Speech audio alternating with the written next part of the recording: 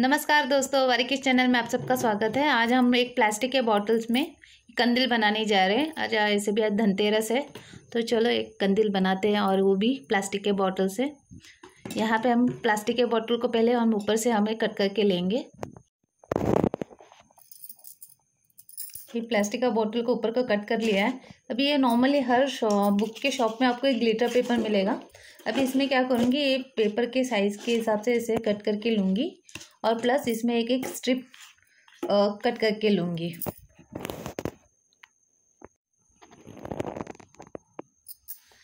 यहाँ पे हमने ग्लेटर पेपर के ऊपर से एक एक इंच और यहाँ से और एक इंच यहाँ से हमने वर्टिकल ड्रॉ किया और हॉरिजॉन्टल हमने ऐसे क्यून ड्रॉ कर दिया है। अभी इसे हम कट करके लेंगे। यहाँ पे ये स्ट्रिप कट करके हो गया है।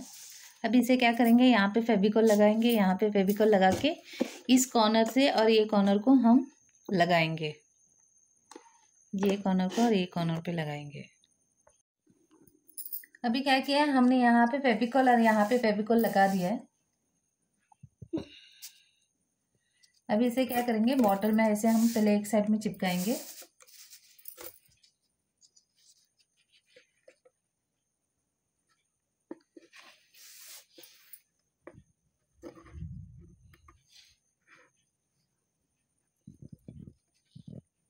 एक साइड में पहले चिपकाएँगे, फिर उसके बाद ऊपर से चिपकाएँगे।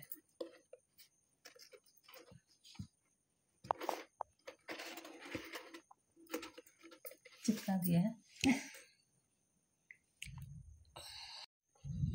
अभी ये इसके ऊपर वाले को यहाँ पे चिपकाएँगे।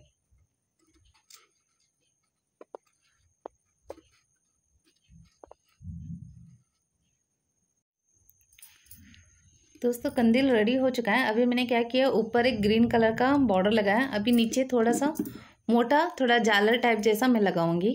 आपको लगा के फिर बताती हूँ कैसी। ऐसे हमने झालर जैसा कट किया है। अभी इसे हम क्या करेंगे, इसके ऊपर ही हम फेविकॉल से लगा के यहाँ पे चिपका देंगे ये। थोड़ा सूखने के लिए टाइम देना पड़ेगा क्योंकि ग्लिटर पेपर है ना, थोड़ा टाइम लेता है। ब्लू कुछ चाहिए चिपकने के लिए। यहाँ पे ऊपर हमने चिपका लिया है, ये ऐसा दिख रहा है। अब इसको हम लोग सूखने के लिए आधा घंटा छोड़ देंगे, फिर इसके बाद दूरी लगा के आपको बता देंगे कंदिल कैसा बना है। दोस्तों, कंदिल रेडी हो चुका है, बहुत सुंदर बना है। Wish you happy Deepavali to all और प्लीज़ हमारे चैनल को सब्सक्राइब कीजिए लाइक कीजिए। वैसे बेल बटन को ज़रूर दबाइए, आपको नई वीडियोज़ मिल जाएँगे। शुक्रिया दोस्तों।